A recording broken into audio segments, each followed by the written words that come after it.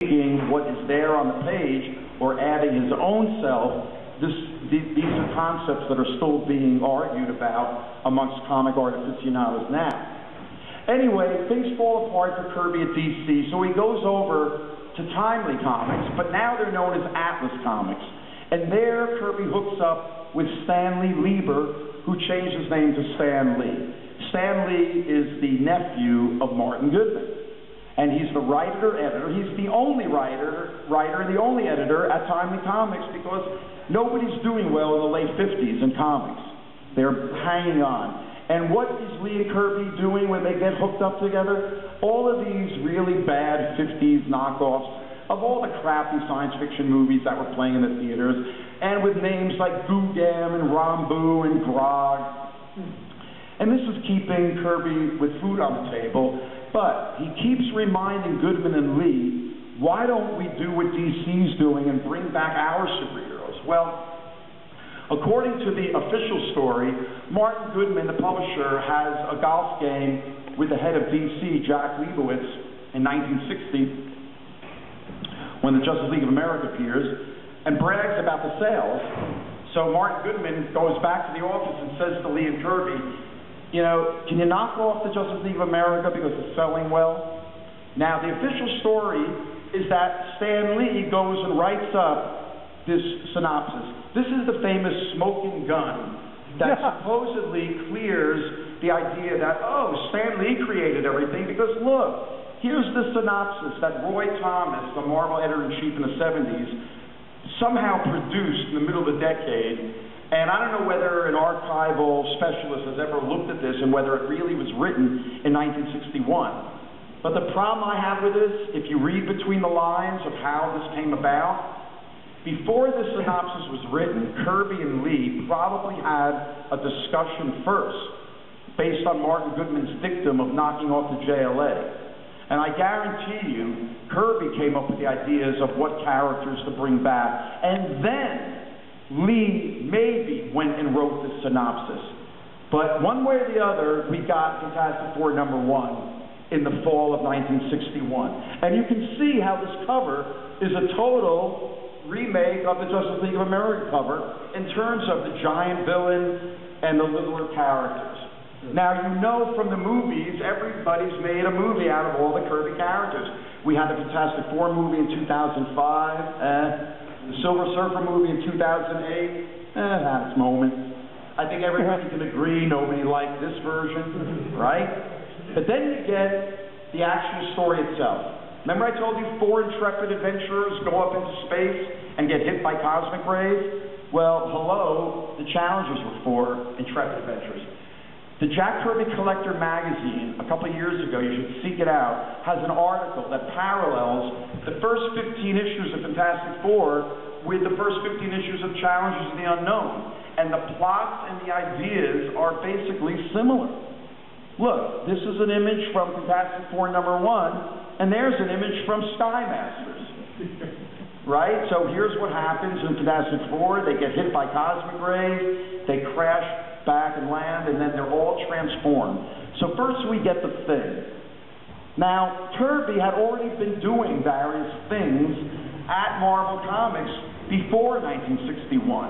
Some of them actually had the same name. Look, the thing, and you can see the rocky orange surface is beginning to be developed. Here's another thing. And there's Kirby's thing running amok. Now, when you look at the kind of lumpy surface that Kirby has on the early thing, it took years before the rocky kind of skin that we know of. But when I look at this image, I can only think that the thing is somewhat subconsciously based on the legend of the golem. Now, this is a statue in Prague, Czechoslovakia, of the golem, which was a 16th century Jewish myth or legend that supposedly the rabbi of Prague, there's a beautiful old Jewish synagogue in Prague that's famous. They made a movie Kafka 20 years ago where they feature that. And according to the legend, Rabbi Loew wants to do something to help the Jews from getting murdered in all the Gentile pogroms that are happening in Europe. So he creates a being made out of clay. And he inscribes the Hebrew word emet on its forehead, which means life. and it brings the golem to life. But the golem doesn't have a mind or a soul. So at first he saves the Jews, but then because he doesn't have a mind or soul, he kills everybody. So the rabbi has to put the golem down by taking the F out of Emet and leaving the word Met, which means death. And according to legend, the golem is still somewhere up in the Prague synagogue in some attic room. But the reason why we know the golem legend is mostly because there was a German silent film made in 1926 called The Golem. And that had to be an influence on this little unknown film that came out only five years later. But in a sense, the thing, if you look at the story of the thing, that Mary Shelley writes in the early 19th century, the golem legend had been circulating around Europe for 200 years. And the idea of creating a man out of clay, the, essentially Frankenstein is the golem story. So then we have the next character who gets transformed by cosmic rays, Reed Richards becomes the stretchy guy, Mr. Fantastic, the most ego-centric name in the history of comics. Mr. Fantastic. Are you kidding? Anyway, of course, Plastic Man is the original stretchable character. Nobody had the rights in 1961 Plastic Man was discontinued, so they felt they could knock him off. DC Comics in 1960, I think a year before FF, comes up with their own Plastic Man, and this is why anybody that grew up learning how to read from comics, you gotta love the fact that since the word plastic was taken, they came up with the word elongated. Now, there are adults that don't know what the word elongated means. But any six, seven, eight year old reading comics, we knew what the word elongated meant because of stuff like this. Then you get the Human Torch. Of course, you saw before the Human Torch was one of the 1940s characters that Kirby probably thought, oh, let's reboot him, even though he didn't use the word reboot. But again, look at the monsters Kirby was doing with Lee, and you see the early Human Torch appearing in one of the early pinups here.